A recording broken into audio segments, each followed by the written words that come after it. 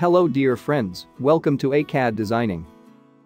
This is the SOLIDWORKS 3D modeling, exercise number 11. We make this 3D model with the help of this diagram. In less simple steps.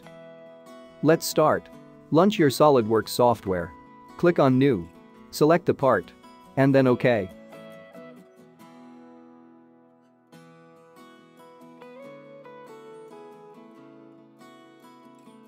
We will make a 3D model help of this diagram. You can check the link of this diagram in the description for your practice. First, we analyze the diagram and decide the steps. At the start, we select the right plane for the sketch and draw this profile. Then extrude up to 100 millimeters. Next, we select this top face and draw a rectangle according to dimensions. And cut out with this depth from solid. Similarly, select this face and draw the corner rectangle. Set this rectangle according to these dimensions. Then cut out trough from the solid. Our 3D object should be completed. Let's start modeling. Select the right plane and click on the sketch.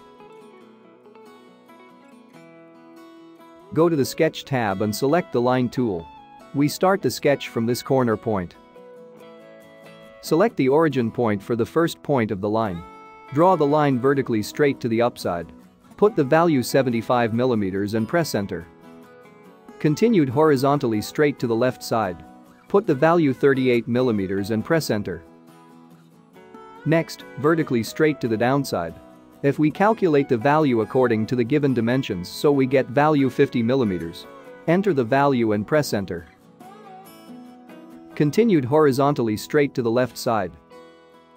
Now here we need to calculate dimensions. 63 minus 38 and press enter. We got a value of 25 millimeters. Next, vertically straight to the downside. Put the value 25 millimeters. Or, you can get a tracking reference of the origin point and click the point. Continued horizontally straight to the right side. Put the value 12 mm and press enter. Draw the line vertically straight to the upside. Put the value 9 mm and press enter. Continued horizontally straight to the right side. Now here we need to calculate dimensions. 63 minus 12 minus 12. And press enter. We got a value of 39 millimeters. Next, vertically straight to the downside. Put the value 9mm and press enter. Next, for the closed diagram, select the first point of the sketch. Here is a notification because of our sketch is fully defined. Escape the command. Our sketch is completed. Make sure we entered the correct values of all lines. And see here our sketch is fully defined. Go to the Feature tab and select the Extruded Boss Base tool. Switch the extrude direction by clicking on this icon. Put the 100mm extrude value and click on Mark OK.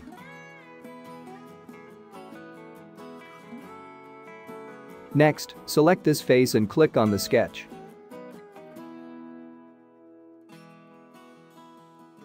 Go to the Sketch tab and select the Corner Rectangle tool. We select the first point of the rectangle on this edge. But do not select fixed points, such as the midpoint and endpoint of this edge. Approximate I select the next point here. Move the cursor in this direction. Put the 19 mm width of the rectangle and press enter. Put the 50 mm length of the rectangle and press enter. Now we need to fix one dimension. This is 25 millimeters as shown in the diagram. Go to the Sketch tab and select the Smart Dimension tool. Select this line and this edge. Place the dimension. Put the value 25 millimeters and press enter. Now our rectangle place in the correct position. Go to the Feature tab and select the Extruded Cut tool. We have a depth of cutout is 38 millimeters. Put the value 38 millimeters. Click on Mark OK. See, our sketch is cut out from this solid object. Next, select this face and click on the sketch. Go to the Sketch tab, and once we select the corner rectangle tool. Approximately, I select the first point of the rectangle on this edge. And select second point of the rectangle on this edge. Like this. Escape the command. Go to the Sketch tab and select the Smart Dimension tool.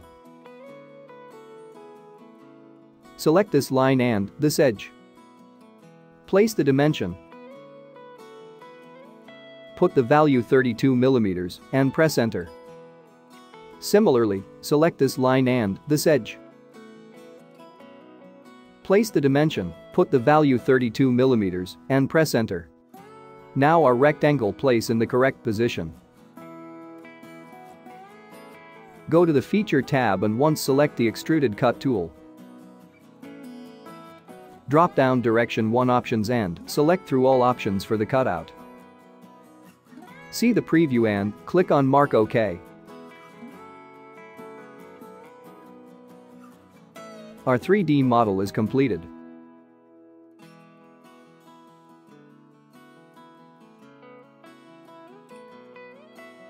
Let me choose some material for this object. Go to Appearance. Drop down the Appearance. And select Metal. Select Steel Material. And I choose to cast carbon steel material. Just drag it on the object and select the body option. Now, here we applied material on this 3D object. You can choose any other material as you like or as per your requirement. I hope all the steps you have understood. If you do not understand any of the steps, then comment to me. As soon as possible I will answer you. If you like this video then hit the like button, share this video, and don't forget to subscribe to my channel. Thank you for watching this video. See you in the next exercise tutorial. Have a nice day.